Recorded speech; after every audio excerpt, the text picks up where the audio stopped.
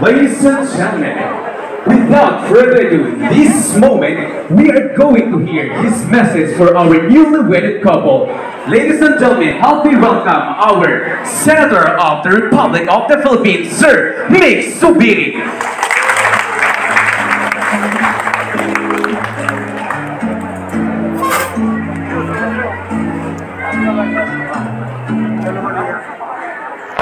Ang ganda-ganda ng bride and ang gwapo ng groom.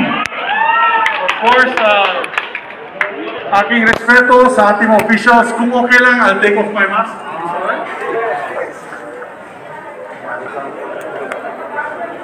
Galing pa kami bukid noon. Diyan na kami dumaan dahil ECQ ang Cagayan de Oro. I just wanted to be with, of course, my compadre and my comadre, uh, Mayor. Of course, my deepest respects to the Dimopolo family, to Tita Anging, please give her my best. To, of course, uh, Khalid and Tito Bobby Dimopolo. To Vice Governor Christy is here, Christy Atay, Ma'am. Uh, to our regional directors, we have our regional director from the DAR, Ma'am Haji Zoraida Pakandindan. Ma'am, very hardworking. Galing Bukidnon yan. Last week, nagbigay po ng lupa sa ating mga landes. Of course, to my dear friend, we've been friends since early 2000, to RD Ray Sumalipaw, RD, good to see you again. Hindi ka tumatanda. Ako pumuti na yung buko, ikaw gwapo pa rin, bata pa rin. Of course, to Ambassador Omar, Ambassador, my compadre, good to see you. Uh, to the father of the groom, Mayor Aaron Omar, and to your family, the Omar family. And of course, to the father of the bride, Mayor Marcos Mamay, and to the Mamay family that are here. To all the mayors of Lanao Norte and uh, Sur that are with us today, also our vice mayors, and in my table I was with Vice Mayor uh, Kawasa, sir, and to all the officials and dignitaries. Sa po ng government officials, and I have also my brothers and sisters of Upsilon Pi Sigma uh, represented here today. Sa inyo lahat, especially to the bride and groom, congratulations to you all. Assalamualaikum to my brothers and sisters here today.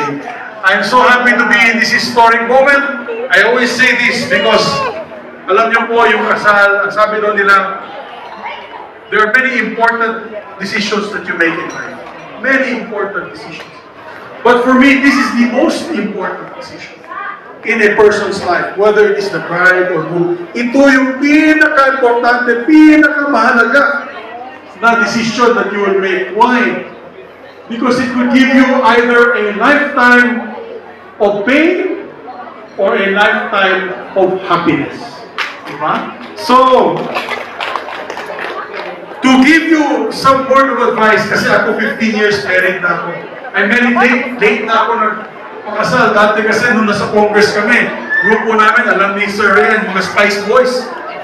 Sila ni Defensor, Daya, Barbers. Masyado kaming carefree. And we enjoyed ourselves too much, kaya nagkasal po ako ng medyo may na. But my wife was very young. But we've been married for 15 years now, and the secret to our marriage is supporting one another.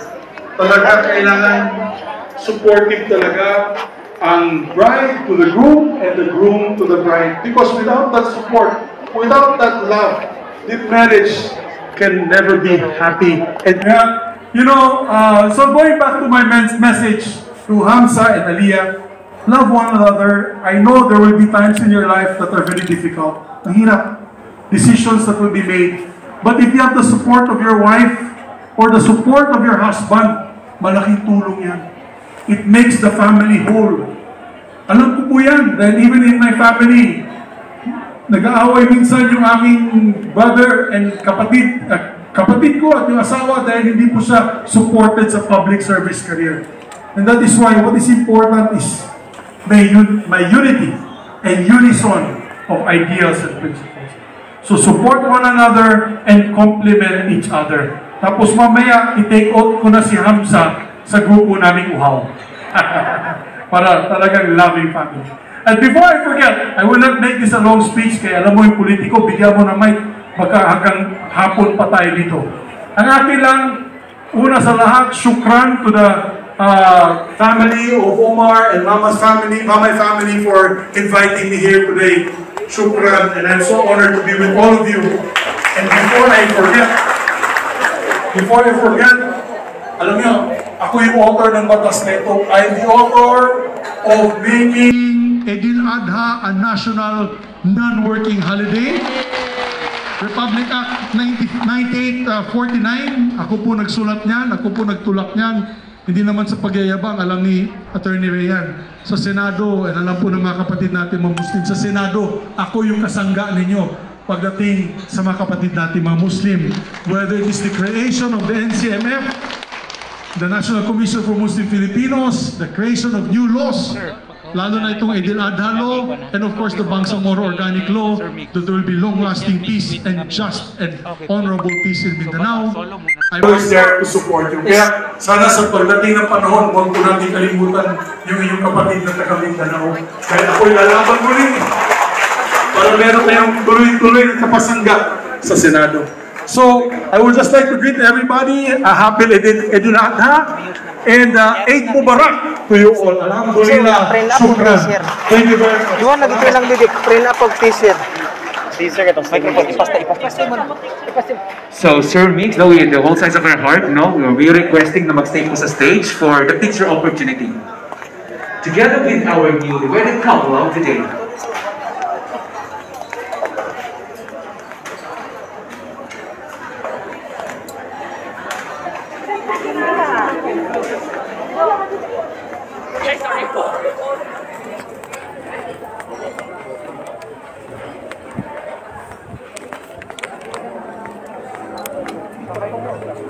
Okay.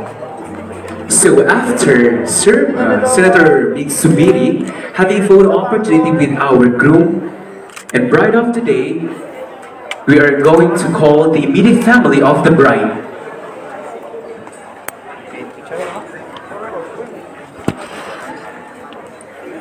Alright, once again, thank you so much, Senator Zubiri.